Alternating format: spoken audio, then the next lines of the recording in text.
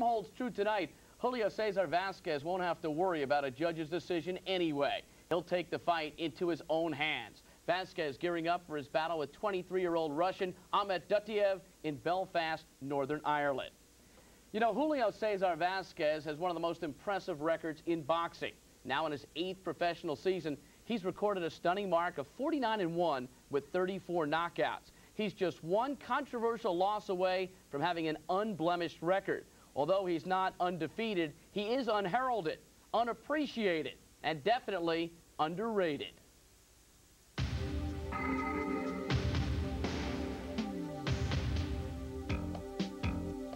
He is often known as the other Julio Cesar, overshadowed in the 154-pound weight class by WBC kingpin Terry Norris, the division's most popular champion. And by his IBF counterpart, Gianfranco Rossi, the division's longest reigning champion. Yet the overlooked and underrated Julio Cesar Vasquez is the most successful fighter of the 154-pound champions. For the WBA title holder has won 49 of his 50 pro bouts. y siguiendo ganando toda la defensa que se pueda. He said that he is trying to make more defenses and he's pretending to fight as much often as possible. A rugged southpaw, he hails from the South American boxing mecca of Santa Fe, Argentina, the hometown of legendary middleweight Carlos Monzon and WBA junior welterweight champion Juan Coggi.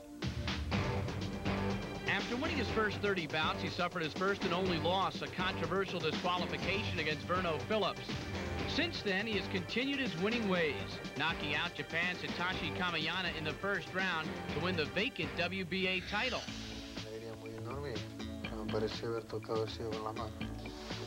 He said I was uh, very, very, very happy. Uh, he was feeling like he take in his heaven. Although he has defended his title seven times in two years, his lack of big-name opponents and quiet personality have conspired to keep Vasquez the division's most unheralded champion.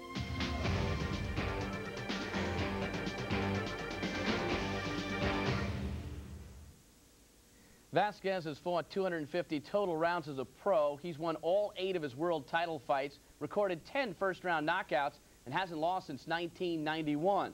Why then, Bobby Czyz, do the people know the other junior middleweight champions, Norris and Rossi, more than the once beaten Vasquez? Well, the big names are a part of the exposure to the public, and not only who you fought, but who you've beaten. Certainly, Terry Norris, he has the most exposure. He's on Showtime and Showtime event television all the time, all throughout the year. Beating the legendary Sugar Ray Leonard made him a household name overnight. And the two big fights with Simon Brown, there's top quality opposition there. I mean, there's somebody you have to beat to everybody, so everybody can know you. With the other guys, they're not really on that much. Gianfranco Rossi is certainly on more than Vasquez. Vasquez is the least known, and he hasn't fought any top American names or big household names. He needs the big names, needs to be on the tube. How would Vasquez do against Norris or Rossi? Well, Vasquez is a vicious puncher. He's mean, and he seems to be in great condition, although his last few fights have gone very short in the way of distance. But if his chin is as good as his offensive skills, he could give either one of those fights, fighters, excuse me, a great fight and give them fits because he's a southpaw and they're all a pain. What does the less experienced Dottuev have to do to have a chance in this fight? We know virtually nothing about Dottuev, so I think what he has to do is he has to have some offense and he has to have a good chin because if he doesn't, he could get ruined real early. Well, right now, let's take a look at the tale of the tape for this WBA junior middleweight title fight, which is scheduled for 12 rounds. Vasquez is four years older than Dottuev, two inches taller, weighed three quarters of a pound more, and has a two-inch reach advantage. Tonight's bout is governed by the rules of the World Boxing Association. Scoring is done on a 10-point must system. Three judges score the fight. The referee does not. There is no standing eight count. The three knockdown rule is in effect. Only the referee can stop the bout. The fighter cannot be saved by the bell except in the final round. It's time to send you back to the King's Hall in Belfast, the largest part of a five-hall complex. And we put you in the dependable hands of Steve Albert and Ferdy Pacheco. Gentlemen. Thank you once again, Bruce, and welcome back to the King's Hall in Belfast, Northern Ireland. The anticipation builds as we close in on the first of two World Championship fights. Later, the main event is Britain's flamboyant Chris Eubank defends his WBO super middleweight title against hometown hero Ray Close of Belfast in a rematch But upcoming first, the WBA Junior Middleweight Championship featuring Julio Cesar Vasquez, the other Julio Cesar, against Ahmed Dottuev of Russia. And we are back with the fight doctor, Ferdy Pacheco. And uh, Ferdy, Vasquez says he would like to unify the junior middleweight uh, championship in the near future, but is he on the same level right now as the other junior middleweight champions like Terry Norris and Gianfranco Rossi? Well, Gianfranco, yes. He, he definitely is on the same level, if not a little superior to him. I think he could take Gianfranco Rossi. However, Norris, the way he fought Simon Brown, if he fights like that again, he's a little step above. And it would be a very interesting fight because of the aggressiveness and the, and the chin and the lack of chin on Norris's part and the chin of, of Vasquez. So I, I, think Norris is one step above him and Gianfranco's about level. In either case, both fights would be very interesting as far as I'm concerned. I'd like to see either one of them. What about the experience factor tonight? Ahmed Dottuev, uh, the Russian, has only uh, 13 professional fights under his belt. Uh, that should play a role. It should. It's, it's vast against uh, uh, sparse. You know, it's too much against too little. I mean, how can you say that this Russian is entitled to even the shot with as few of fights as he got, as opposed to a man who's fighting all the time in championship competition? It really is borderline in execution tonight, but we will see. Boxing's a strange world where you can level it off with one punch, so we can see, but the, the, the difference is vast in experience. all right, our ring announcer, Jimmy Lennon Jr., is set to bring on the introduction of the challenger, Ahmed Dottuev.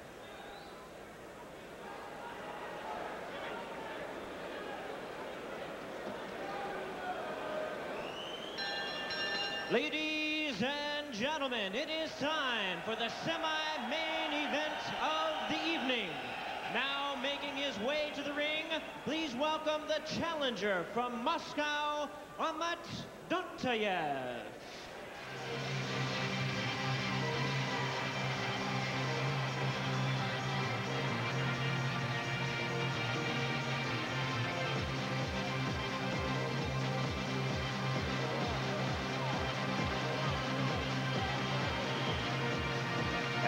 Comes the challenger Ahmed Dottuev, a southpaw, 23 years old, born and raised in Moscow now, lives in Volgograd, Russia, which used to be Stalingrad. 11 1 and 1, nine knockouts, has fought predominantly in Russia, and despite only 13 professional fights, rated as high as number nine by the WBA. He's the Russian junior middleweight champ, Eastern European champ, but tonight represents his first shot at a world title in 30.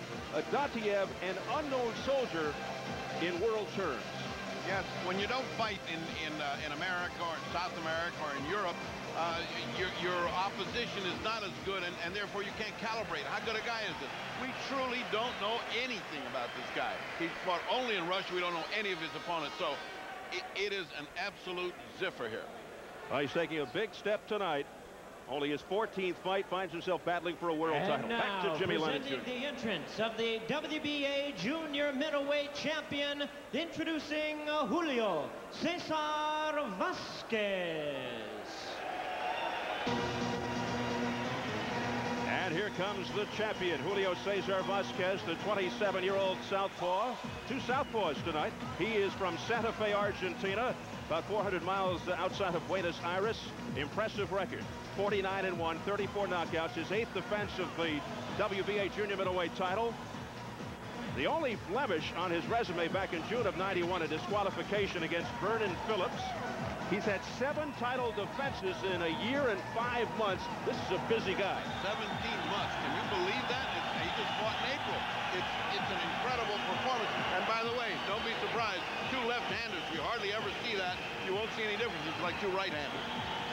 And I know you're high on Vasquez, but you find it tough, Ferdy, to get a true read on just how good he is since he's fought mostly foreign opponents? Well, th that is a point, and a very small one, but your eyes don't deceive you. This guy's the goods. He's strong as he can be. He's aggressive. He's got a chin. Watch when you, when you see him in close-up. I mean, he's got a chin that's so broad it looks impossible to hurt that thing.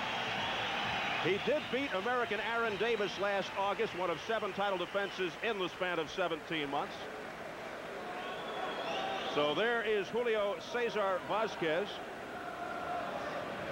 from the same hometown as the great Carlos Monzon. Back to Jimmy Lennon Jr. And we welcome you to the first of our two world title main events here at King's Hall in Belfast as brought to you by Don King Productions and Sports Network as sponsored by Corona Beer. This bout is sanctioned by the World Boxing Association. The president, Gilberto Mendoza, supervising at ringside Nipper Read, in association with the British Boxing Board of Control, stewards in charge Bill Sheeran and John Williamson. Introducing to you the judges at ringside. Hank Mayers, Gustavo Padilla, and Nestor Ramirez. Introducing to you the referee in charge of this bout, we have John Coyle. All right, fans, here we go with the WBA Junior Middleweight Championship of the World, scheduled for 12 rounds of boxing. Introducing to you first the challenger on my left in the red corner. He enters the ring wearing red trunks and fighting out of Moscow in Russia. He weighed in at 10 stone, 13 pounds, 2 ounces, or an even and ready 153 U.S. pounds. His record includes 11 wins, one loss, one draw, with nine wins coming by way of knockout. Please welcome the WBA number nine ranked junior middleweight contender, introducing Ahmed Guntayev.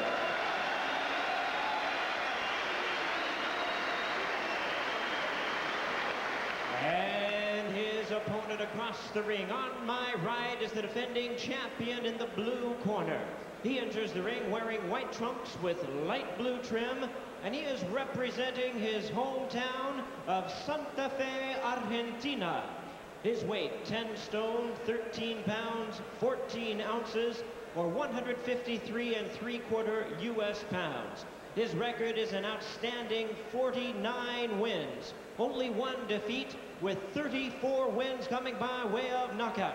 Introducing the WBA Junior Middleweight Champion, making his eighth defense of his title, please welcome Julio Cesar Vasquez.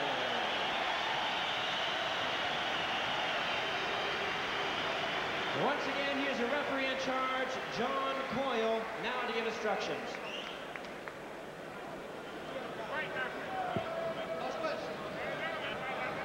Okay, I've had a ch- chat with both of you. Work with an upper part of the glove, defend yourself at all times, and obey my instructions at all times. Shake hands, good luck to you both. Thank you. Final instructions from referee John Coyle of England. A good look at Ahmed Dottuev, rated number nine by the WBA. Julio Cesar Vasquez, son of a Santa Fe baker in Argentina. You know, it's interesting, just for the record, our last trip to Europe in London, unheralded Steve Little was also rated number nine by the WBA before he upset Michael Nunn for the WBA super middleweight title. This is Dottuev's first world title shot. The Russian junior middleweight champion, Eastern European champion, Julio Cesar Vasquez. We saw him for the first time this past March in Las Vegas, his second fight in the States.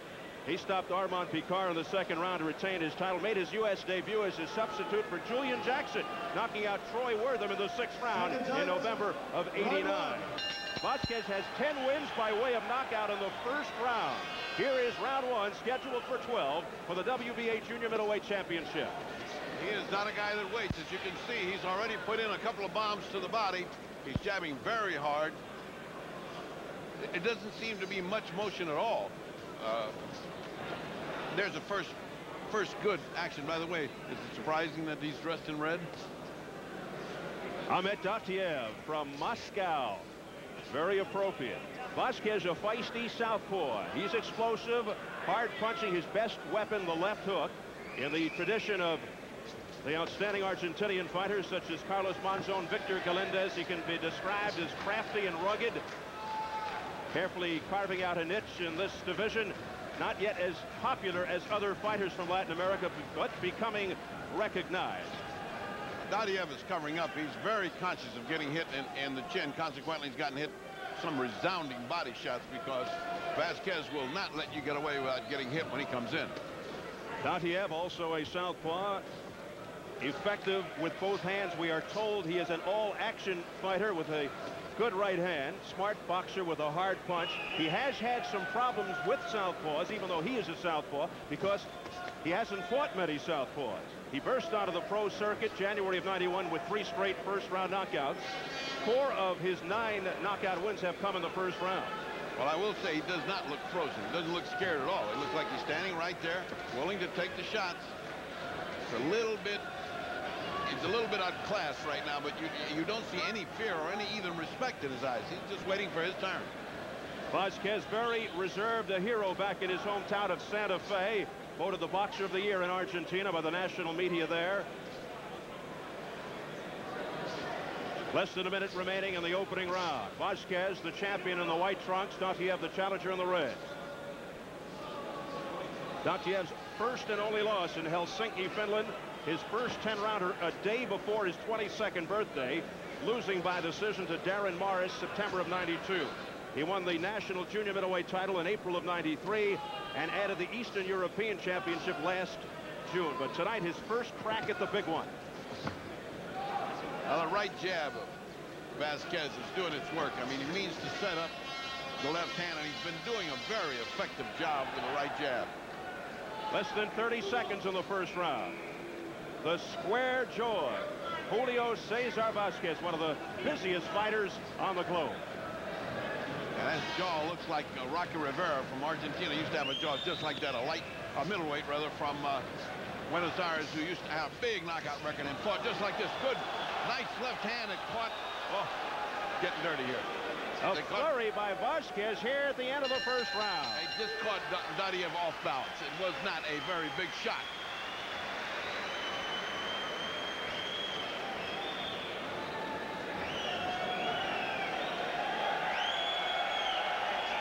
Don't allow microphones in the corners here as they do in the United States. So, Ferdy, I hope you're a good lip reader. Well, I can lip read in Spanish, but I'm hopeless in Russian. I, I, absolutely don't know what, what he's saying except that you did well in the first round, son. Go back and let's get some more. Here's the replay, which really doesn't show anything except the mash. Oh, that was right on the button. That was right on the button as Marquez threw the left hand and just about wobbled Dottuev. But Dottuev's tough. He came right back. I mean, Dottuev's impressed me for the first round. Not he's not a great fighter, but that he's not scared. He's not he's not uh, afraid of mixing it up. And after all, he had a, a, world champion right on his case, trying to put him out in the first round. Let's see what happens in the second. So far, he's impressed me in his cool-headedness.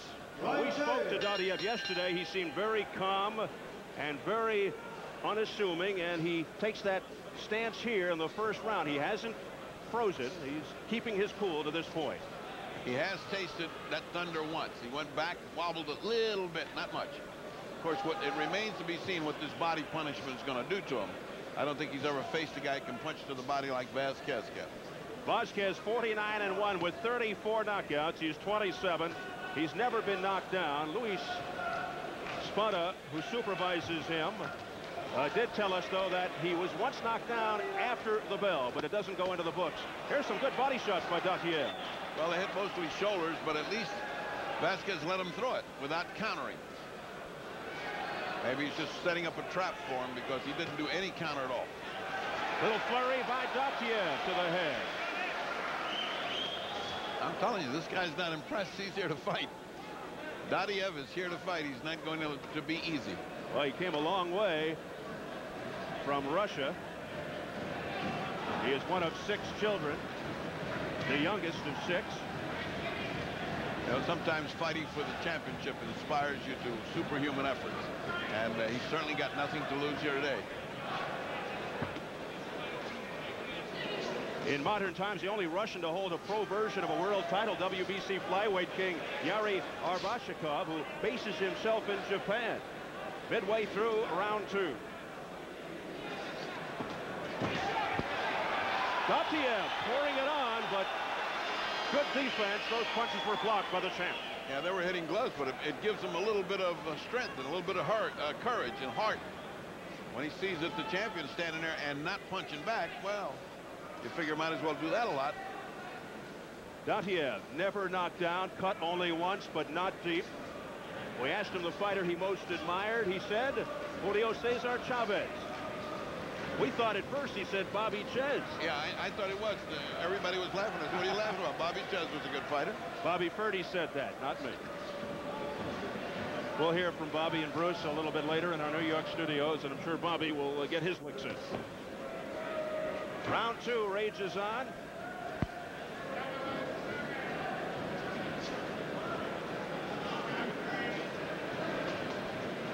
Under 30 seconds in the round. I mentioned Luis Spada, who supervises Vasquez. He's from Panama, managed former WBA featherweight champ Eusebio Pedroza. And Bernardo Checa, who now trains Ray Close, who will uh, challenge for Chris Eubank's title later.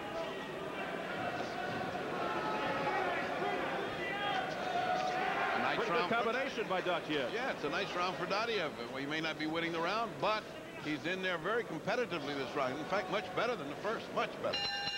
And the bell to end round two. Good round for the challenger. Now let's go to Bruce Beck in New York. Back at our control center for this transatlantic broadcast, Bruce Beck with Bobby Czyz. And Bobby, now that you've seen this mysterious Russian, what do you think? Well, he's a little awkward now. We know he's a southpaw. He's got a reasonable little jab. He hides real well, tries to keep from getting hit with any of the real flush shots. And I think I actually gave him the second round, so not the blowout on paper we thought it might be. Does he need to be busy the way he was in that second round? Well, he threw a few quick combinations, keeping Vasquez off guard, and Vasquez has been a little tentative, much more so than I've seen him in the past. Who knows, maybe he didn't take this guy too serious, and he's worried about his gas tank over the long haul now. What about the two southpaws going head-to-head? Southpaws normally box orthodox boxers, so it might be just as awkward for them to jump in with another southpaw right now, but, you know, I don't think it's going to be that big a deal tonight. All right, let's go back to Steve and Ferdy in Belfast, Ireland. Thank you, Bruce. We are getting ready for round three. Round three. The WBA Junior Middleweight Championship here at the King's Hall. Capacity 8,000, Belfast, Northern Ireland. The champion, Julio Cesar Vasquez in the white trunks. And the challenger, Ahmed Dottuev of Russia in the red trunks. Well, Vasquez got a tongue lashing in the corner there. He possibly blew that round. At, at least his corner thought so. And, uh, and they're saying to him, how dare you blow around to this guy here? Come on, let's get active. Don't let this guy punch without hitting him on the way back. Is it possible Vasquez has taken the, the challenger a little too lightly coming in? It's always possible when you look at a guy's record. He's got such few fights against nobody. I mean, who wouldn't take him lightly? But still, when you're in boxing this long, you know that every time you get in there, it's a different setup. You know, it's like a new challenge all over again. You got to do it all over. You can't do that. You cannot underestimate. I mean, look what happened in the first fight, a fight between Eubank and Close. Vasquez told us yesterday he's very well prepared, and he'd be surprised if this fight went 12 rounds. I think everybody in this hall would be surprised. Including Dottuev, I think. I think Dottuev figures if he's going to win, he's going to have to knock him out or really hurt him. Dottuev 11 1 and 1 with nine knockouts. He's only 23. He's rated ninth by the WBA, number 27. There's a disparity by the WBC. And there is a difference in size. Vasquez uh, appears to be much bigger than Dottuev, and uh, so far he's not using that height or or uh, size to any advantage. He's just content to jab away, trying to open up things and, and hit to the body when uh, nothing's going uh, clear to the head. Whereas Dottuev's defense is pretty good to the head. Look at this. He's got his gloves way up high. Those jabs are hitting gloves a long time before they hit the head. Dottuev showing good form, and this is first shot at a world championship. Vasquez 5'8", Dottuev 5'6 and a half. The weight is nearly even. 153 and three quarters for Vasquez. And down goes Vasquez. And strange things do happen in boxing. And He particularly on Showtime. He is not in real bad shape. He bounced right back up, but he was down. Vasquez put to the deck for the first time in his career. And now we know something that nobody told us. This guy can really bang. What a surprise.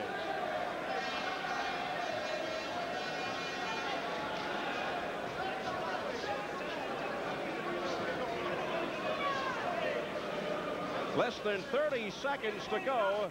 In round number three, the champion, Julio Cesar Vasquez, stunned as he is put to the canvas by the challenger, Ahmed Dottuev.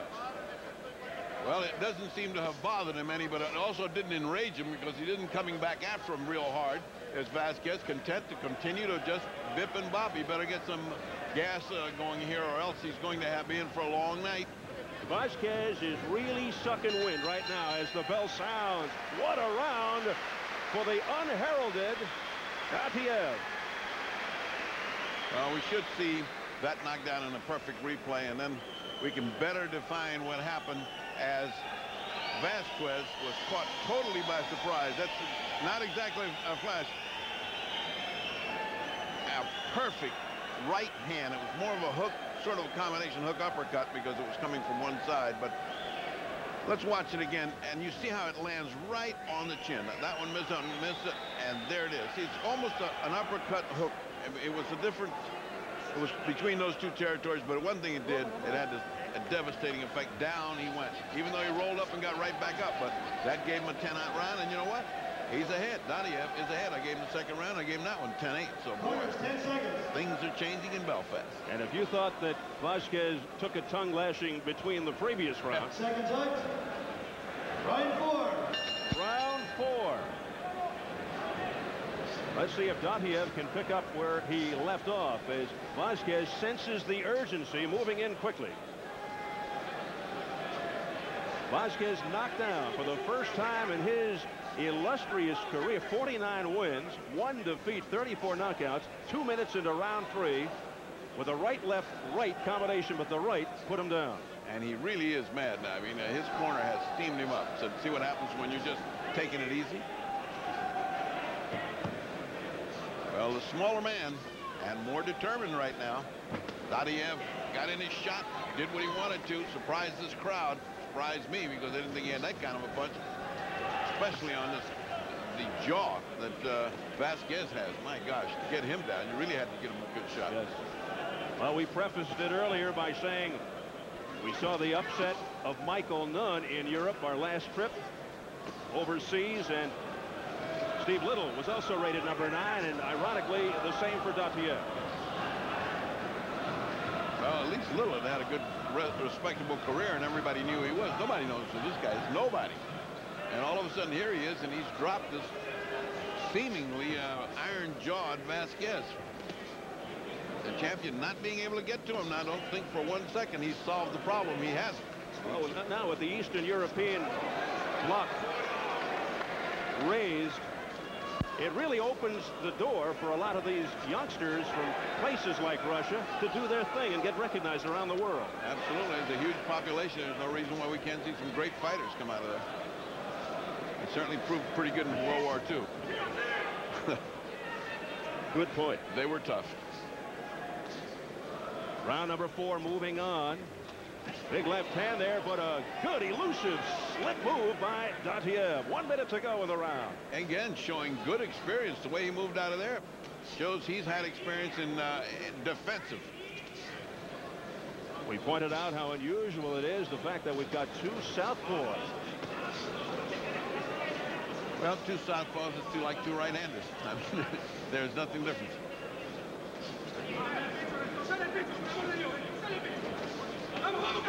Vasquez fighting much harder, much better now, taking the round, but he's certainly not sweeping over Dottuev, and he's certainly got a little bit of uh, regard here for his punching power. He just can't come in wide open like he had before. Now he knows he could get dropped.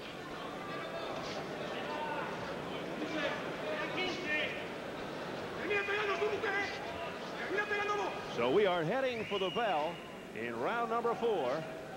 Another pretty good round for Ahmed Dottuev of Russia.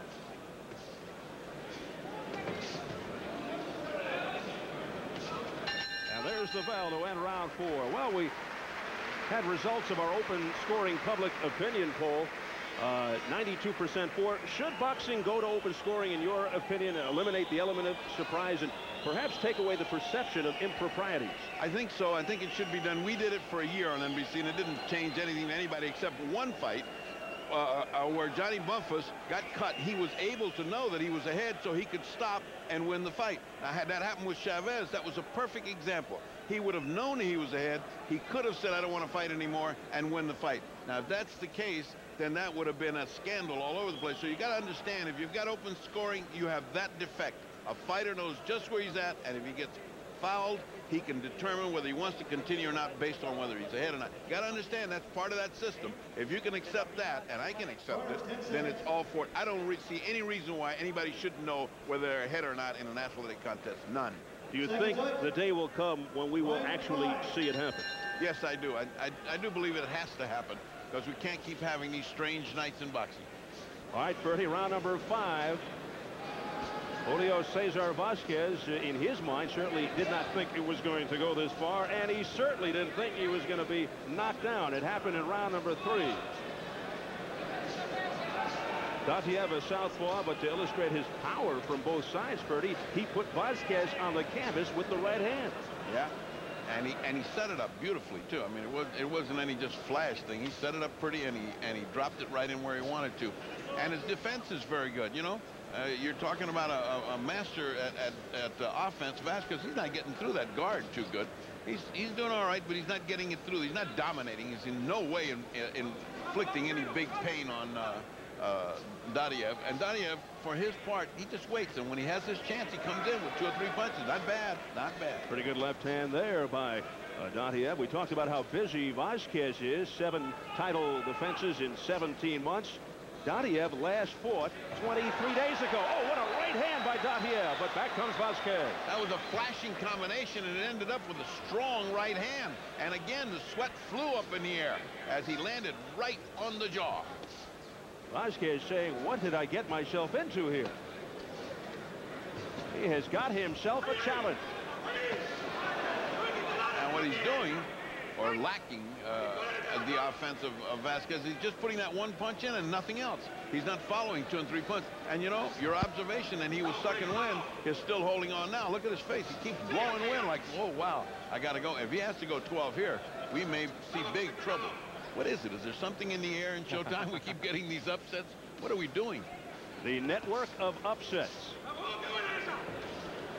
Yes, does Julio Cesar Chavez ring a bell? Well, Dottuev may not be the unknown soldier after tonight in world terms. Less than a minute to go in round five. Well, I already give him a, a great deal of respect.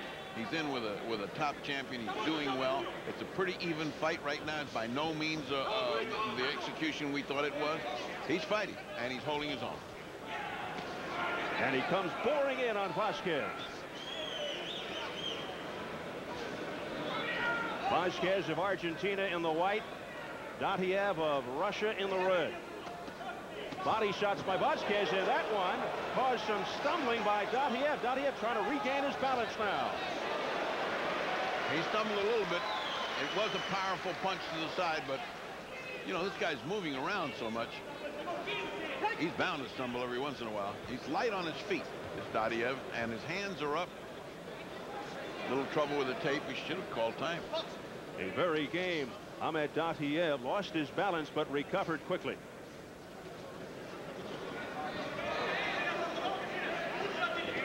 Combination by Vasquez at the bell.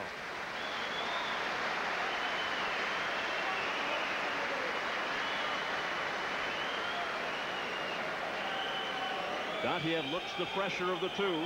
I have this fight exactly even on my unofficial scorecard exactly even, and that's a surprise. Who would have told you that by round five, Dottuev not only is here, but even. Let's watch the combinations that he throws. There's a right hand. He throws a right hand again, and then, you know, he's swarming with it. But watch the last one. Whack! Right on the on the bottom. That right it hit him right on the bottom of the chin where he wanted to hit it, and sweat flew. I mean, that was a beautiful comment. Now, that was a stumble, which you can see, it, that was really not much more than he stumbled over his feet. It, it wasn't any big punch that caused that. They're going back to the time-honored way of cooling off a fighter, which is to flap a towel on his face. Don't you feel like you're in a time warp here? Yes. Yes, indeed. It's a real throwback. Seconds out. Vladimir Lavrov in the Round corner six. of Ahmed Dottuev. A well-schooled fighter. Yeah, and it's not... Oh, Oh, but right there he goes down to his knees. oh, that was to the side. And And, it, it may, and that may have been that stumble last time because he sure hit something. It was all body punches. It was all body punches. There was nothing to the head there. Seconds into round six. Vasquez on the attack. He wants to end it now. And he should have gone to the body. He, he sees that the body is caving him in. What's he doing to the head? A surge of energy and power. Down goes Vasquez for the second time in the fight. I'm telling you, this is going to be something. That was a surprise punch. Vasquez very amateurishly going to the head when he should have gone to the body. That's what knocked down Dottuev. So what is he doing up to the head? We've got a war going now. What a surprise. Vasquez down five seconds into round six. Dottuev and Vasquez 35 seconds in. Two knockdowns within 35 seconds of the sixth round. And he is puffing hard, is Vasquez. You can see his cheeks puff out and his lips do a little rhythm there. Look at him. He is, that's it. He is really, really puffing. He tried too hard and he blew everything out in the first round, in the first part of the round, and he's he's cruising now. Vasquez looking like a blowfish in the water. But but the question, he, he, he dropped him with, with body shots. Why isn't he going to the body? He's such a pro. Why isn't he going to the body? Vasquez disoriented by the challenger Ahmed Dottuev. He is certainly not fighting like he should be fighting a man with this much experience. Again, he caved in a little bit with that body shot. His knee just went a little woozy with that body shot. Something must be wrong. Let's see the guy's got a broken rib or something is really hurting him on the side there. And again, Vasquez looking very tired. Expending much energy. Two knockdowns here in this round. Vasquez has been put to the deck twice in the fight. Dottuev once. Well, this will be an interesting round to score because both men went down. And that looked like that punch went down. Yeah. And, and that, a, this is the first time we've seen fights in many, many a fight that there haven't been a lot of low blows and, and or, or either that or this referee doesn't believe in warning people because there have been some low blows. He just acts like he didn't see them. We've seen a few. John Coyle not acknowledging it. He's an English referee. Less than 30 seconds left in the sixth round. And almost anything Dottuev would do now could win the round for him because it's an even round. Dottuev barreling into the stomach of Vasquez. Combination by Vasquez got the attention of Dottuev. That was a good, solid combination. This kid has got some kind of jaw on him because he took a good shot then. There's another good shot. The bell. And a tremendous show of respect on behalf of Vasquez as he touched gloves with Dottuev as the bell sounded. Well, it's an I'll have to say I hate even rounds. I have to say that's an even round. Both men landed and uh, both men knocked each other out. I can't wait for this replay because we got to look at the first one. Now keep your eyes on the punches. Two, three. That last one didn't hit his head. I don't know what it was. Two punches to the to the uh, body. And said, let's take a look. One. No, this is not that that that replay. This is the replay where Vasquez goes down. There it is. Again, a perfect shot on that big, massive jaw and down. It wasn't a resounding knockdown. I, I don't think the, the, his pants even touched the canvas, but his gloves did. That's all they needed. Corners, 10 seconds. And uh, not much of a, a, solution from the replays. We saw the body shots. I do not know what put him down that Second hard. time. He seems to be such a tough Nine, kid. seven. But I know what put Vasquez down. What a shot right on that big square jaw of his. Round number seven scheduled for 12 for the WBA Junior Middleweight Championship. Now, John Coyle tells Dottuev to get the punches up. Oh, a Oh, left nice. hand by Dottuev that stung Vasquez. Boy, it was right on the money. So clearly open. If he'd have had some steam with that. Mm-mm. I can't believe what I'm seeing here. It is I, something. I am stunned by what I'm seeing here. Vasquez doesn't know what to do with him. A right to the ribs put down Dottuev. A left to the jaw dropped Vasquez in the last round. Two knockdowns in the opening 35 seconds of round six. We are now into round seven. It has been uh, action-packed. Now the jab by Vasquez. But it does not set up the left hand. He just can't get to him. He sets him up with a jab, and then the guy's gone. Sets him up, and then the guy's gone. He's got to learn how to start cutting off this guy, get the distance between them. See this long, huge distance? That's all uh, to the advantage of Dottuev, who comes in when he wants to, fights, and then goes back out. Excellent, excellent style of fighting by Dottuev. Nice flurry to the stomach by Dottuev a moment ago. A little look of amazement on the face of, uh, of Vasquez. He's looking like saying, wait a minute, wait a minute, is this supposed to be happening? I mean, here he is way out of uh, out of reach, and he's still reaching for him with a jab. It's a miracle that Dottuev hadn't crossed over that jab. Dottuev with a left hand. Vasquez coming right back, though. Minute 30 left in the seventh round. Vasquez wants to mix it up. That, that's that's all to his advantage. But you know what? Every time he gets in close, it's that outspeeds him, outpunches him, and then he's gone like the gray ghost. I mean, he is fighting well as. Another outstanding round for the challenger in the red, Dottuev. Now, Dottuev bullying his way in. And referee John Coyle has to snap him apart. And another warning for a low blow from Dottuev, who, who did come in with a low jab. Wasn't bad, but he did come in. Dottuev showing some good boxing skills here as well, working the jab to the face of Vasquez. And, and Dottuev's appearance is like he was in the first round. I mean, he, he has no uh, expression on his face. He doesn't look tired. He doesn't look weary. And whereas Marquez looks, Mark, uh, Vasquez looks ex exceedingly perplexed. I mean, he just looks like, what do I have to do here? Somebody tell me what I have to do to this guy. Less than 30 seconds in the seventh round. Not many people, mostly Vasquez and his people, didn't think it was going to go this far. Vasquez's people told me if it goes past five, it'll be a miracle. Well, a miracle has just arrived in Belfast. A city that could use a miracle. That lefty missed by Vasquez and the bell to end round seven. Again, a little stumble by Dottuev as he goes to the corner. Let's go back to our New York studios and Bruce Beck. All right, Steve, so I don't think Vasquez, Bobby Czyz could ever have expected to be down twice in this fight. No, he certainly couldn't. I think he maybe very much have just overlooked this guy, not trained. He looks to be huffing and puffing a little too hard. And like we said, though, if, if Dotiev had some of the goods offensively and defensively, and defensively he's hiding behind the gloves very well, and he's throwing some great counters. We got a little bit of a war going on. And I have Vasquez just a pinch out in front now. What do you think Vasquez has to do now? I think he's got to, he's certainly bigger and a little stronger. You can see he's pushing Dottuev around a little bit. I think he's got to use that. He's got to force himself on Dottuev, use that strong right jab, but he's got to fire that left. He's got to work underneath, but he's got some more combinations. That one, two big punches is not working. The little guy's getting around it. All right, ready to go back to Belfast, Ireland, to Steve and Ferdy. Thank you very much, Bruce and Second Bobby. sights. We are getting ready for Right round in. number eight. What an exhibition by the challenger in the red, Ahmed Dottuev of Russia, who has put Vasquez down two times in this fight.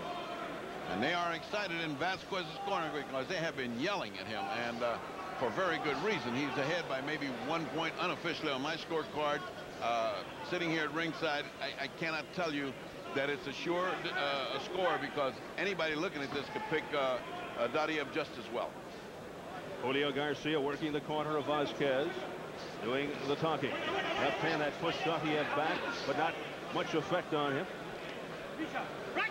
Well, right there was, was one of those moments where your corner wants you to keep punching, and he grabbed him. Uh, uh, Vasquez had him in the corner, punched three or four good punches, and then let him go. I mean, why let him go? Keep on punching. Body shots by Vasquez, missed with the uppercut. The two southpaws keep going. Good left hand by Vasquez that starts Dottuev for a moment. Dottuev has got to start on feeling that these punches aren't as hard as they were a few uh, rounds ago because, and he's grabbing a lot because it looks like he's exhausted. Uh, Vasquez keeps giving the appearance of being very tired, and now his punches look like they don't have that much on them.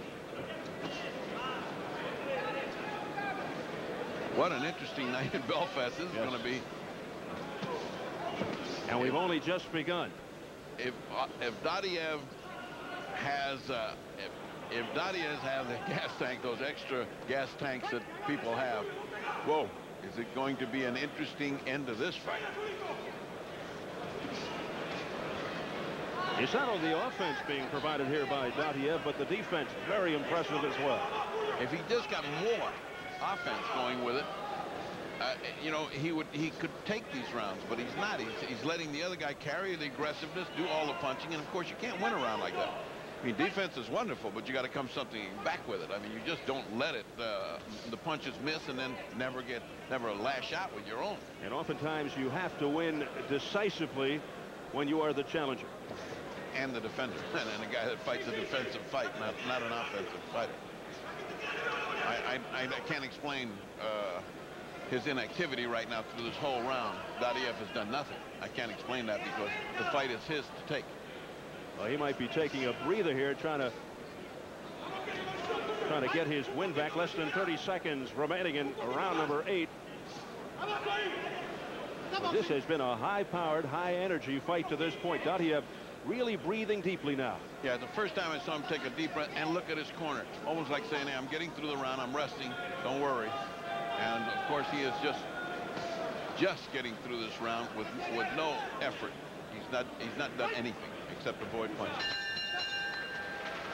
And that is it for round eight. And by the same token, the champion Vasquez unable to take advantage of that situation.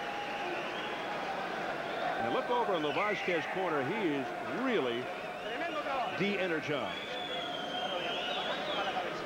His his um, breaths are extremely deep. I mean, he's taking huge breaths. They haven't put any ice on him. They've got his arms down. That's good. He's moving his legs like to get him get some action going. They aren't working on him violently. They're not trying to get him back. Now he's getting a rub from his trainer, getting the blood circulation going in either arm. And that's very good corner work. Get that circulation going, get the blood flowing. And a very demonstrative trainer, Vladimir Lavrov, in the corner of Dottuev trying to get his point across.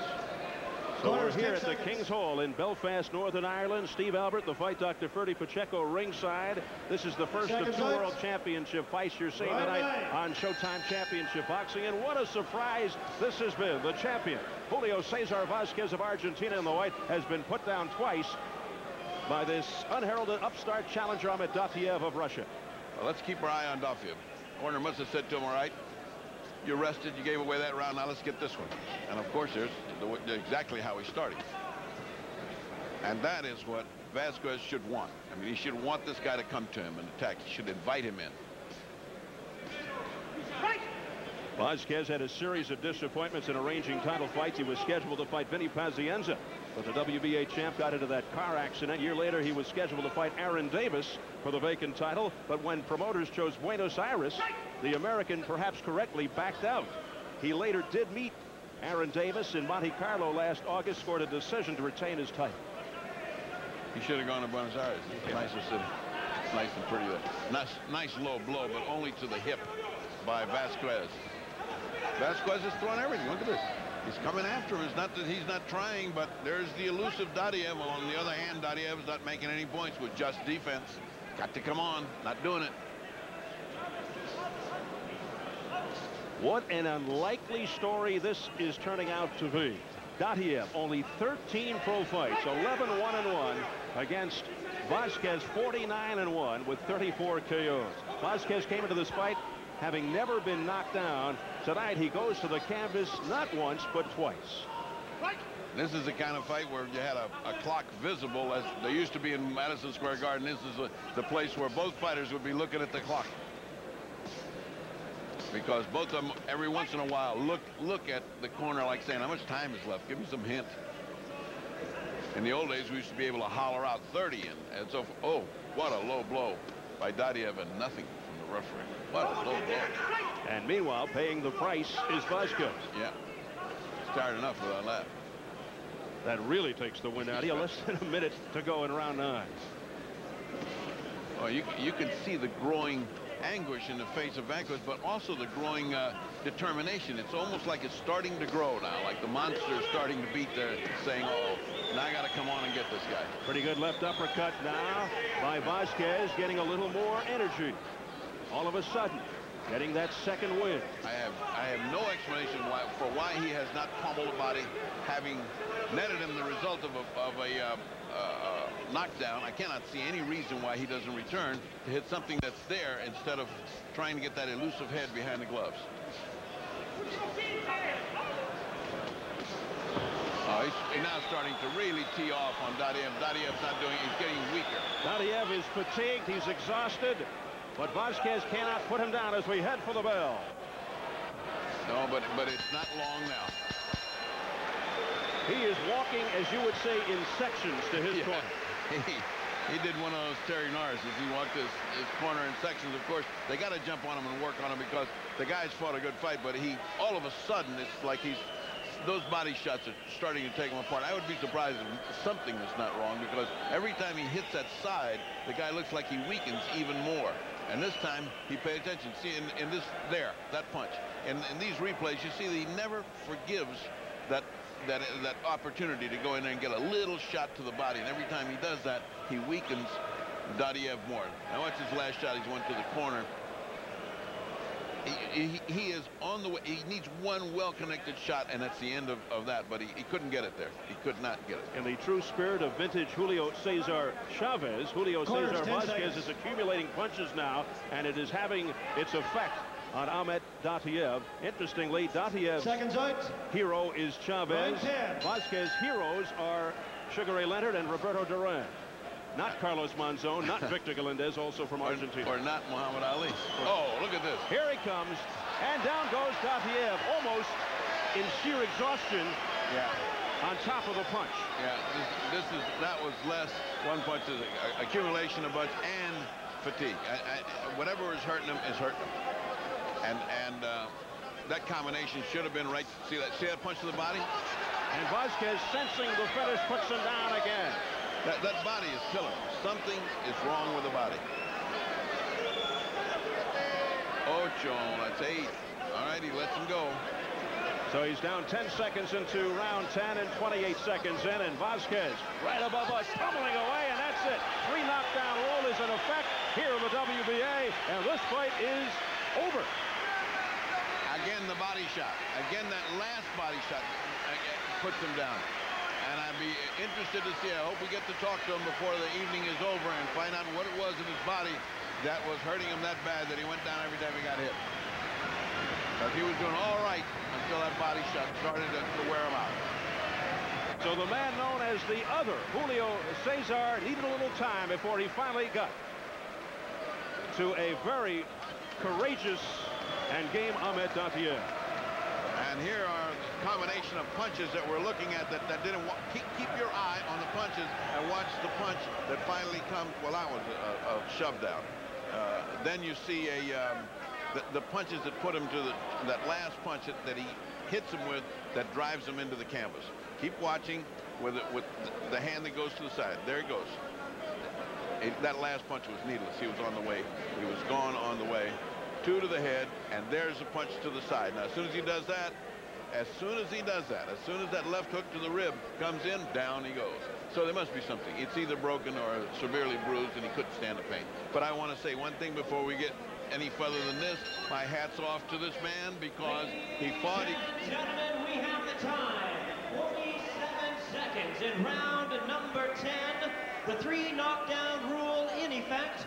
Referee in charge, John Coyle, stops the contest. The winner by way of knockout and still champion, Julio Cesar Vasquez. Julio Cesar Vasquez. Now 50 and 1 with 35 knockouts. And he retains his WBA junior middleweight title, his eighth title defense. Things looking a little worrisome there early. You can still see the seriousness of the situation as Ahmed Dottuev Ferdy is saluted with a major ovation here in Belfast. He's won a lot of fans here in Northern Ireland. a roaring, roaring crowd to respect this little-known challenger who came in and dropped the champion twice. Amazing. There's the belt. A knockdown fest. Dottuev went down four times. Vasquez down two times. Six knockdowns all told in this fight. So here at King's Hall in Belfast, Northern Ireland. We'll return with post-fight interviews in a short while as Julio Cesar Vasquez knocks out Ahmed Dottuev for his 50th win. Let's go back to our New York studios and Bruce Beck. Okay, Steve, still to come, our main event of the evening, the WBO Super Middleweight Championship, as Chris Eubank makes his 10th title defense, and for the second time, his opponent is the dangerous Ray Close, who battled the champ to a draw a little over one year ago. But Bobby Czyz, thoughts on this last fight? It was a pretty good one. Well, we saw what we talked about earlier, too. Does uh, Vasquez have that chin to go with all the other tools he has offensively? Didn't appear today as if he has that chin. A bigger, better puncher than that, I think hurts him bad, maybe stops him. Dottuev obviously not in good physical condition because when it got to the eighth round, he simply ran out of gas. He held his gloves up so high, so much around his face, guarding his jaw so carefully, you might have thought he had a bad chin, and what he, in fact, had was a bad body. As soon as he got hit to the body, with a good clean shot, he went down. And, you know, the body, uh, the body attack ensued, caused him to be completely debilitated and having to quit. What about Vasquez's medal being down twice in the fight and still being able to regroup and come out with the victory? But once again, I still think against a better fighter, the better fighter keeps Vasquez on the defensive, pushes him back, works on that chin. This guy, a little too small, not strong enough. Vasquez, much stronger, bigger fighter, appeared to be bigger on camera. Pounds, not a lot, but just an enormous strength difference. I think that's what made the difference. You know, this 154-pound weight class over the years in the WBA has produced champions such as Sugar Ray Leonard and Roberto Duran and Mike McCallum. Does this guy rank with any of them? Not with those three. Those three were fine, fine fighters he's, he's got some things to prove to get in that company. Well, what about Vasquez coming on late, though? When he finally saw the blood, he sensed it and he went after it. He's got a championship heart. He's going to do what he has to do. He's got a title he wants to keep. He's got a lot of pride. I'm certainly uh, sure he wasn't going to leave there without giving it his all, and his all was good enough. All right, let's go back to Steve Albert and Ferdy Pacheco in Belfast for some final thoughts on the bout.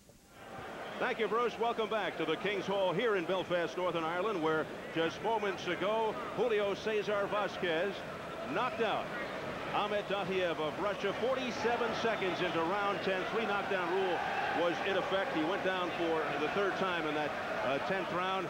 And for a while there, things looked a little tricky for the champion, but then the accumulation of punches really uh, fatigued the challenger. I, I, think it was that and then the fact that there, he has something wrong with his ribs. We didn't get a chance uh, to see him because of the, the time element, but anytime a guy gets hit on the side and he goes right down, you know there's something wrong. Something is hurting him, a bruised rib, a disconnected rib. I mean, something's hurting him. Uh, he, I believe, put on the performance of the year for an underdog who was totally unknown. For a guy to come in here and knock down a guy that's never been down, like Vasquez, that's a major plus. And, and the crowd gave it to him, a big plus. I think we'll see him again. I think we'll see him again on, on uh, Showtime, and, I, and I, he should be on. I mean, a guy that comes on like that and puts on a performance from out of nowhere and knocks down the champion twice deserves to be seen. You know, oftentimes a fighter can lose, and yet his stock goes up, and I think that is the case in Ahmed Dottuev. Yeah, I mean, a lot of people have lost and their stock comes up. None come to mind right now, but that one is definitely one of them. I mean, that guy lost, and he should be back. Now, where does Julio Cesar Vasquez go from here? Does he need to do a little soul searching before he moves on? No, I, I, in his case, he just fought Naples. This guy's got to be exhausted. I mean, they're, they, what they're doing to him is like running a racehorse every in every race. Enough already. Give him two or three months off. I think he needs to go home. I need he, he needs two or three months off. Come back in September to fight and then gets properly trained. His training was he fights. He fought Naples, he fought this guy now without training. Look at the way he was blowing and puffing. This could have been a disaster for him. Luckily, the, the difference in, uh, in caliber showed at the end. You a guy of that caliber with no with no experience. So I, I think what we saw was really truly a minor miracle of this sport. You can come in. You can persevere. If you just got your guts in the right place, you can challenge a champion but you can't persist over 12 rounds. It'll catch you in the end. All right, so Julio Cesar Vasquez with a 10th round knockout over Ahmed Dottuev. Let's go back to our New York studios and Bruce Beck. Fight is in the books, and now we turn our attention to the main event of the evening. It's scheduled for 12 rounds for the WBO Super Middleweight title, and it's the rematch of a stunning draw which was waged exactly one year and six days ago. It's Chris Eubank and Ray Close ready to battle in Belfast. British-born Chris Eubank calls himself simply the best. He has defended his world title efficiently and effectively. and he has defended it often. He's undefeated since turning pro in 1985, and he's knocked out 18 opponents. That's why it was such a surprise when Ray Close battled him to the final bell in their first fight in Scotland. To put it in simple terms, the fight was closer than anyone expected.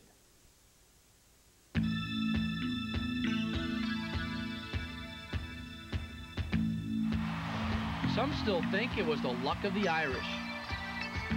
For no one out of Ray Close's native Belfast believed he had a chance against England's Chris Eubank in their title fight one year ago. After all, the eccentric Eubank, famous for his strange behavior and bizarre posings, had won all 35 of his fights, successfully defending his WBO middleweight and super middleweight titles 10 times in three years. While Close, the 24-year-old Irish and European champion, was facing his first world-class opponent in his first world title fight. I didn't know he was one of the best super middleweights in the world, but uh, uh, just like any other fight, you know, guy to beat. Yet right from the opening bell in Scotland, Close surprised the critics. As the fight progressed, the momentum shifted back and forth. Eubank scoring with his boxing skills. Close retaliating with his aggressive style. After 10 rounds, most ringside observers believed the fight was almost even when Eubank surprised his young challenger. It was just a lapse of concentration. You know, when I went down, uh, I just got my thoughts together, got up, and uh, there was no danger in me going back down again. And uh, I think this time, that'll figure, because it'll be in his mind that he had his chance and he couldn't finish me. I think that'll be in his mind this time. Even with the knockdown, it was a very close fight, one that could go either way. Ultimately, the fight was declared a draw.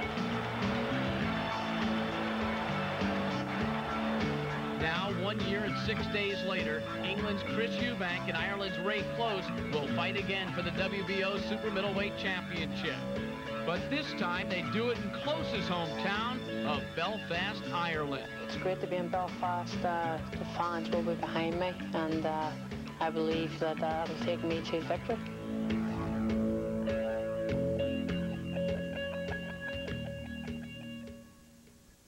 While Chris Eubank has made a habit out of going the distance, having gone 12 rounds on 11 different occasions, Close has completed a 12-round fight only once, but he picked the right time to do so, his only world championship fight. Tonight, Ray Close hopes the fans from his homeland will enable him not only to finish the fight, but win it as well. Bobby Czyz, should Close utilize the same game plan he used in the first fight? Well, in the first fight, he was real effective. Eubank seemed to be in somewhat of a lull for the first nine rounds. Didn't really work. Came on late to score a knockdown just to pull out a draw. But I'll tell you what, early on in the fight, Ray Close, pushing, pushing, pushing. He's only been 12 rounds one time, and he was forcing the fight as if he had gone 12 rounds so often, much like Eubank, who goes 12 rounds all the time. Eubank didn't look like he wanted a quick pace early, wanted to wait till late and just pick his shots. What is Eubank's plan of attack? Well, Eubank's plan of attack should be to hit this guy to the body because he's a better puncher, one punch knockout-wise. He's a much bigger puncher. He should work the younger Irish challenger to the body a little bit, slow him down, set the pace the way he wants by weakening the fighter. Pick his shots, throw the big bombs late, and always ripped that right uppercut on the inside, which was so effective the first time, the only punch scoring the knockdown. He is one of only 39 British champions over the years, but a lot of people in Britain think he's one of the most exciting. You agree? Well, he's certainly exciting because he's so controversial. He's a little weird with his posing he gets in. He's, you know, a little flamboyant. He has some antics that he puts on. So colorful and, and exciting, I'd say yes. He has the ability to box and punch, but Nigel Benn the last time would have a lot to say about that. I thought Nigel Benn beat him the second fight. Clearly the first fight was Chris Eubank. Second fight, for me, clearly Nigel Benn. Philosophy for both fighters in a rematch such, such, such as this, I mean, how do you approach it? Usually the better fighter that's getting a second look at his opponent the man who has the tools will do better the second time. But sometimes with a young upstart with a fire in his belly like the young challenger is in his hometown now, will have all that much more incentive that he took the world champion in his first shot at a title in a 12-round fight, took him the distance to a controversial draw, and being knocked down late might have an added fire, could be slight advantage to the challenger, especially in the uh, bullet-ridden Belfast. Well, the hometown favorite is obviously close, but we have seen before so many times in boxing Holyfield, for example, fighting in Atlanta, sometimes it doesn't work beneficially for the guy who's from his hometown. Well, sometimes the judges aren't from the hometown. You never know what's on their mind. You're back to the judges again. Well, you can't help it. Sometimes you have to wonder what the judges are thinking about during some fights. All right, finally, your prediction, Chappie. I know you're a broadcaster. You're also a boxer, but are you a prognosticator? Only a pugilistic prognosticator, my friend. In this fight, I have to go with the champion, Chris Eubank. He's a better boxer, certainly. I think he's a better puncher as well. If he has all his P's and Q's in order today, late round knockout or unanimous decision, not nearly as close as the first time. That's the way I see it. I like your alliteration. Well done. Here now a look at the tale of the tape for this WBO super middleweight title fight. Chris Eubank is two years older than Ray Close. Both fighters are 5'10". Close is a quarter pound heavier at 168 and has a slight reach advantage. Rules of the World Boxing Organization are in effect tonight. Scoring done on a 10-point must system. Three judges score the fight. The referee does not. There is no standing eight count. The three knockdown rule is in effect. Only the referee has the authority to stop the fight, and the fighter cannot be saved by the bell except in the last round. So the scene is set for the WBO Super Middleweight Championship the 10th title defense for Chris Eubank. Right now, let's go back to Belfast and to the King's Hall to Steve Albert and Ferdy Pacheco. Thanks again, Bruce, and we welcome you back to the King's Hall in Belfast, where earlier this evening in our first championship bout, Julio Cesar Vasquez retained his WBA junior middleweight title over Ahmed Dottuev of Russia. Three knockdown rule in round 10. Dotiev outstanding early on, but ended in sheer exhaustion. Right now, we're closing in on our main event, the WBO Super Middleweight Championship between the title holder Chris Eubank of England and Ray Close from right here in Northern Ireland in a rematch of a draw almost exactly a year ago to the day. Hello again, everybody. Steve Albert with the fight doctor, Ferdy Pacheco. And Ferdy, does Chris Eubank need to win decisively over Ray Close tonight to uh, still be considered among the top super middleweights in the world? I think he reads, needs to win decisively to win the decision here because if he doesn't win big, he's not going to win it here. You have no idea the intensity of these people once they get going and what it's going to do to close. So he must win, and he must win big to win the decision. If he does that, then he's back up to where he can challenge other people. He has been disappointing. He's been disappointing for the last four or five fights and nothing he has done has brought him back to that prominence that he had before. He is a good champion. He can punch well. He has a strong punch, a good defense, but he just quit fighting. It's as if, as if he said in the press conference the other day, I don't want to hurt people anymore. I don't want to hit him in the head. I want to hit him in the body. I mean, I don't know what he's talking about. I, what I'm, what I see is that uh, the fight with Michael Watson took a lot out of him. He, he fought a very hard fight. Michael Watson got hurt in that fight. He had to go to the hospital. He's recovering now, thank God. We saw him get a standing ovation. Michael Watson when he came the last time we fought here. But he's still got that in his mind. He still, even in the press conference, talks about not depleting the nerve cells of somebody by hitting him head. Well, he's going to have to get over that with this kid because this kid close, according to the last fight, comes to fight as soon as the bell rings and he doesn't stop till the last bell rings. And he has got a fire in him and it's going to be fueled by this enormous crowd, which is, the intensity is, is beyond what you can think of. It's like an Ali night or a Barry McGuigan night or as Eusebio Pedroza in, in Panama. They just come out and yell from the opening bell. So if he poses, if he does all of those theatrical things that he does, and it's unbelievable, as we will see, the things he gets away with, posing. It looks like he's posing for a statue or something. But he, if he gets away with that foolishness, this crowd is going to just shower him with boos. Well, he says that uh, he poses to provoke mistakes, but the close people say he poses because he lacks stamina. It buys him time. Well, Why do you think he does it? I tell you, it, it's a time-honored trick. Muhammad Ali was a master of that. He would clown around. Everybody said, what's he clowning for? He was resting. So did Sugar Ray Leonard. So did Sugar Ray Robinson. So did a lot of beautiful fighters who knew that if they were playing around, they could rest. They didn't have to fight during that time. He does that, I think, to rest. He also does it to antagonize the crowd. There's something in this guy that, that he has to make people mad. Well, he makes the audience mad. The audience hates it, and they boo him, and they throw things and so forth. So we're going to see an interesting fight if he starts to do that here. Do you think there'll be less strutting and posing tonight. He'll take a more serious business-like vein. Well, he's bet a lot of money. He's bet $2,000 that he can knock him out in the first round. at 50 to 1 odds with, Eastman and $4,000 that he can knock him out in the seven at 44 to 1. So, Bobby Judge, you should be here. so the main event is coming up in just a little while. The battle for the WBO Super Middleweight Championship between Chris Eubank of England, Ray Close of right here in Belfast, Northern Ireland, for more on the fight, let's go back to our New York studios and Bruce Beck. Thank you very much, Steve. Well, Eubank has not stopped an opponent in two years, Bobby, so what does that tell you? Well, I don't know. Ferdy was just talking about the long odds and betting going on that he may stop somebody. I think Chris Eubank has picked his spots to rest by doing some of the antics, as Ferdy talked about. And there's times when he just doesn't seem to want to fight. I'm not totally sure why. Only Chris Eubank knows. He has the power, but he doesn't seem to have the energy to sustain the attack for a long time and yet not be able to worry over the long haul. He seems to worry about the long distances, yet he goes them all the time. In two of his last three fights, he has battled to a draw, once with Benn, once with Close. Does a fighter lose his edge a little bit in that type of situation? I'll tell you, battling to a draw is always a controversy one way or the other, depending on the fans and everything and the surroundings, etc. It's always going to probably take away a little bit of the confidence of a champion, especially a champion, knowing that a challenger, more than one now, has taken you to a draw and you may have lose, lost your invincibility, the aura of invincibility, that, that feeling you get of not being able to be beaten. From invincibility to inactivity, Close hasn't fought in 215 days, Eubank 104 days. Could that be a part of our fight in terms of a story?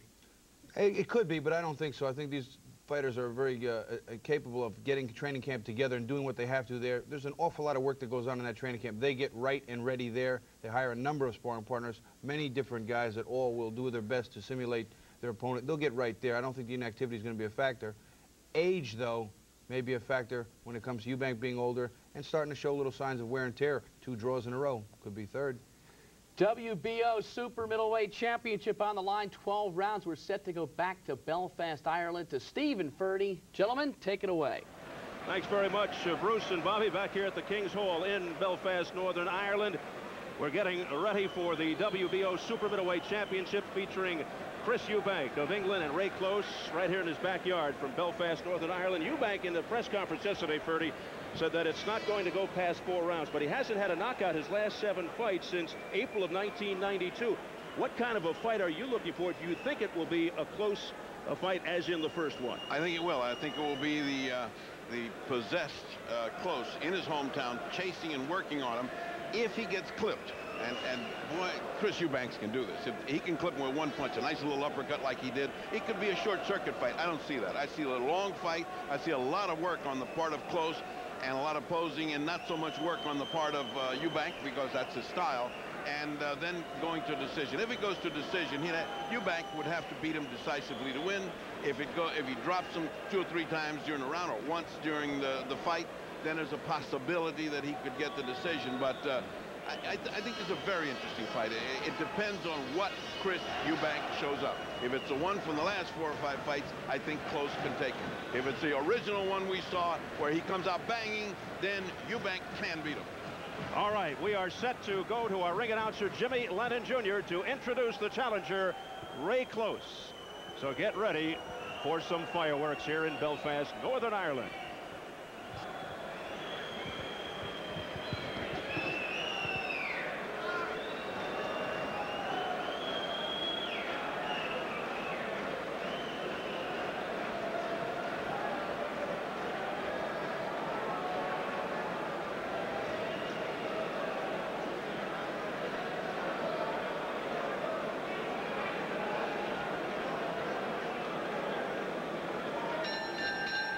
Ladies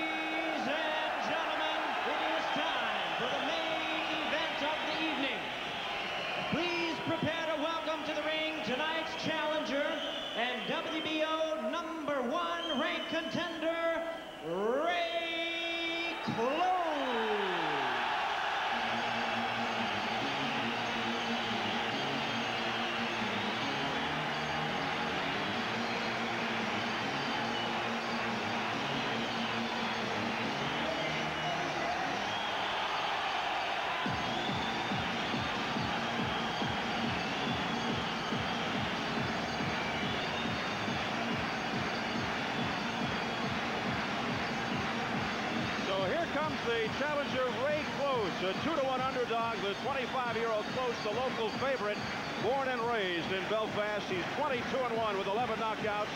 The former Irish super middleweight champ now rated in the top 10 by three world organizations.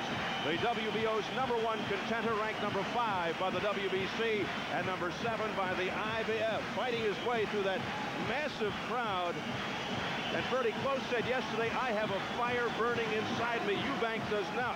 How much of that is just the pre-fight hype?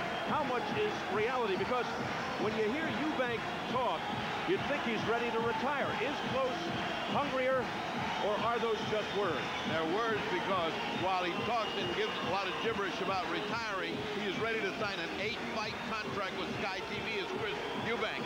So enough of that retirement nonsense. He's not going anywhere. He has to win here in order to collect big bucks but, for an eight-fight contract. But how about the fact that Close says he's got more fire than Eubank? Oh, he definitely has. He's, he's got a, a, a in his hometown. He had more fire in the last fight, and now he's got an excellent corner. He's got politically, he's so well collected here. I'd be uh, shocked if he lost here. And uh, he's a young guy who hasn't been there. He hasn't been the champion, and he can taste it. Here he comes, dressed all in green.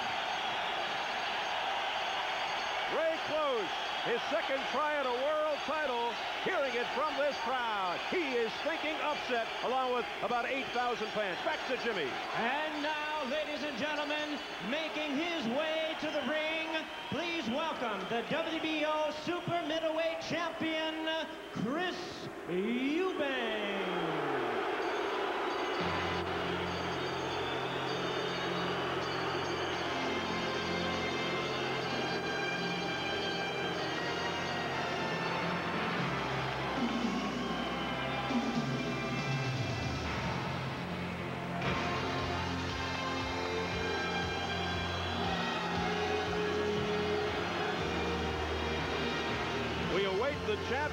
Undefeated Chris Eubank. The 27-year-old Eubank will be making his 10th defense of the title as Ray Close paces and waits. And this could be another ploy by the champion to make Close wait as long as possible. Nothing surprises me with Chris Eubank, a man who calculates every move and uh, apparently to antagonize the press and his opponents, he comes dressed spiffily and uh, he is giving one epigram after another. You feel like you want to give him a bound book of Oscar Wilde's epigrams so he can uh, conduct a press conference. He, he can talk to this young guy, and he's coming out not in a hurry. Let everybody uh, take their time and boo him roundly. And finally, here comes Eubank, 36-0-2, 18 knockouts, born in Dulwich, England, now lives in Brighton, England, hearing the boos from the crowd. The enigmatic, arrogant, colorful Eubank generally likes to enter the ring by jumping over the top rope. We'll see if he does that tonight. Right now, the Irish fans antagonizing him by touching his hair as he goes by, and he hates it. He's making some kind of fierce face. They're trying to protect him